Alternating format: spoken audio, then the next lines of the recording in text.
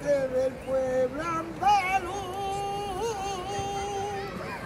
que con la primavera andan pidiendo